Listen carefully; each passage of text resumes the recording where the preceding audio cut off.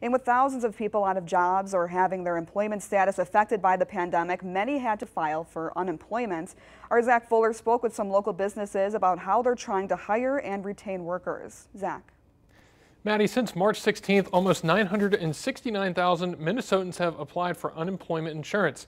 However, the businesses I spoke with say that people were and still are ready to get out to work. When the pandemic struck? What we found uh, right away in March, we had probably, I think, 15 of our caregivers that because of their own health concerns or a family member's health concerns, that they actually needed to take time off from work which stretched an essential business a little thin as people are not applying for work. What happened is, you know, we lost about 15 of them at that time, 15. Uh, then we still had quite a few less people applying. Something Settlemyre says applicants admitting they'd rather opt for the extra $600 per week in unemployment benefits over working. It's kind of like you're kind of working against that incentive.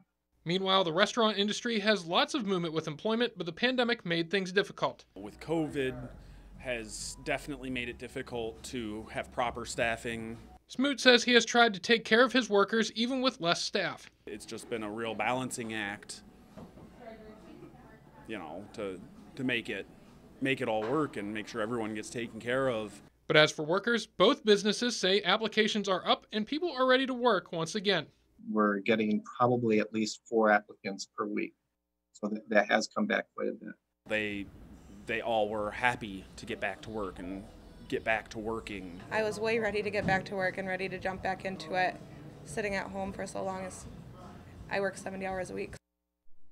Visiting Angels say they have been giving their entire staff $2 per hour bonuses since this pandemic began as a way to show appreciation and also paid those workers who decided to stay home for health concerns. In the studio, Zach Fuller, Fox 47 News.